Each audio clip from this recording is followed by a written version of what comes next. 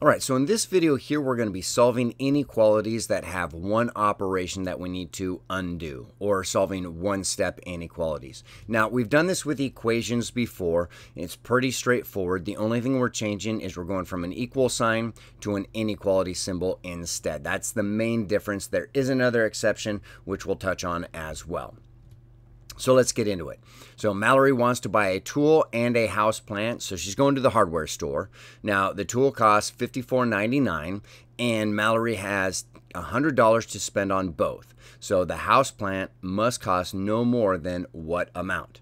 So with most of these, if you don't actually write it out, at least in your brain, rephrase it. Okay, so here we go. So we have a tool that we're going to buy.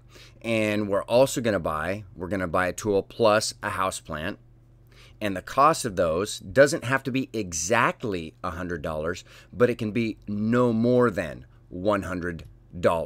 Okay, so so this case here, it's not equals 100, it's no more than 100. So now that we have it uh, rephrased, we have it boiled down, we have the important information, at least in our brains, now we can write an inequality. So we'll start out with the tool. Well, it says right up here the tool is 54.99. So there we go, 54.99, and we're also going to add to that the cost of the plant. Now, the plant, we don't know how much it's going to cost. That's actually what we're trying to find here. So we're going to use a variable for that. You could use P for plant, H for house plant, um, X because it's the unknown.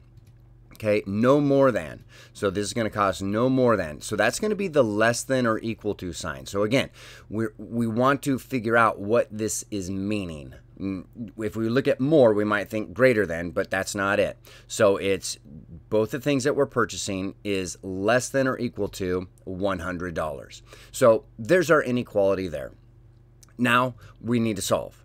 So when we go to solve these, we're going to basically treat these just like equal signs. There is an exception. We'll talk about that for uh, just a second at the end of the video here. So we want to get the p by itself because that's what we're solving for. So we want to undo this plus 54.99. So we're going to subtract 54.99 to both sides. So that's what that looks like. We're subtracting 54.99 from both sides. So we have 0 54.99 is just the P on this side. And then for this side here, we're going to do 100 minus 54.99, and that makes 45.01.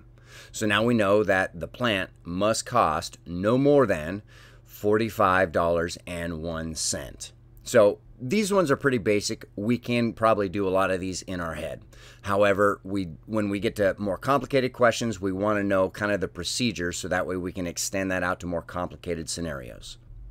And then we're also going to put these on a number line. So remember with our number lines, we want to have zero. That's kind of our reference point. And then any other important numbers also go on our number line. So in this case, 5401. So it's less than or equal to. So the or equal to means it's going to get a, a closed dot. And then less than is going to be shaded to the left.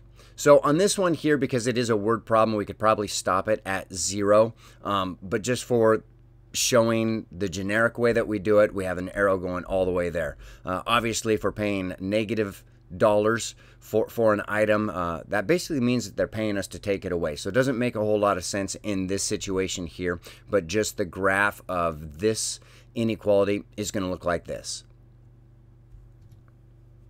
So here we go. We're just going to solve c minus 12 is greater than 65.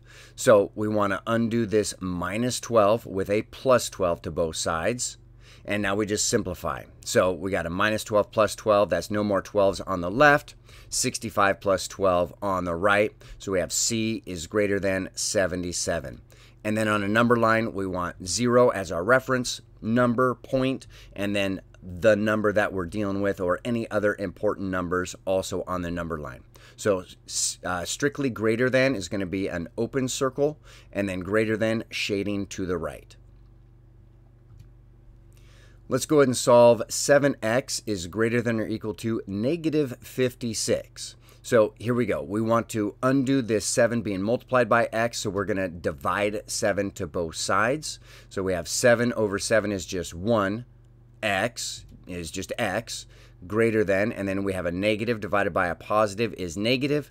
56 divided by 7 makes 8. So x is greater than or equal to negative 8.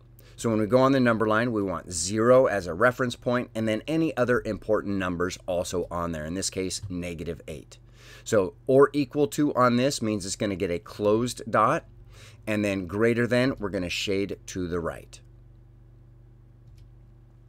Here we go. We're doing x divided by 3 is less than 12. So we want to undo this divide by 3. We want to get x by itself, so we're undoing divide by 3 with a multiply by 3 to both sides. So can look like that. So here we have 3 over 3 just makes 1 times x is just x. And then 12 times 3 on the right-hand side makes 36. So x is less than 36. So now on the number line, we want to have 0 as our reference point, and any other important numbers also go on the number line. In this case, just the 36.